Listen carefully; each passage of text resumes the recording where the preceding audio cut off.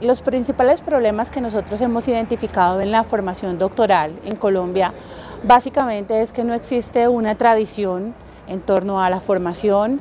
Eh, las universidades todavía no tienen muy claro lo que deben hacer cuando contratan profesores que tienen doctorados.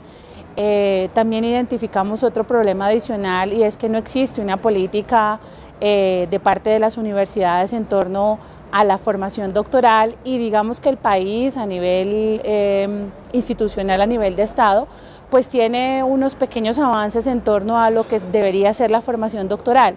Sin embargo, esta misma situación pues plantea unos grandes retos para las universidades y especialmente las universidades que están interesadas en, obtener sus acreditaciones institucionales, en, pertenecer o hacer parte de, los rankings mundiales. Em, y en este sentido creemos que sí que hay una serie de opciones y, oportunidades para las universidades, para los investigadores, inclusive para los estudiantes.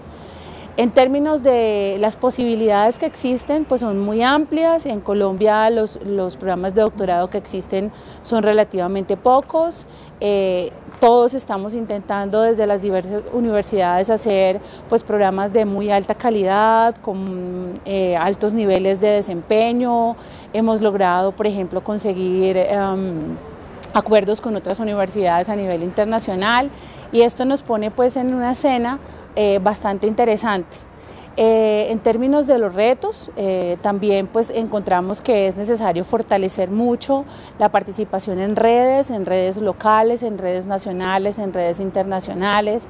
Eh, necesitamos desarrollar investigación con pertinencia, necesitamos tener un mayor nivel de visibilidad a través de las publicaciones científicas, tenemos que crear nuestras propias publicaciones a manera de libros, de textos para la universidad y muy especialmente creemos que tenemos que hacer una labor con los estudiantes de pregrado para realmente impactar eh, el pensamiento de los estudiantes y desarrollar pues estudiantes que tengan una gran capacidad de investigación y que les interese y que les guste también investigar.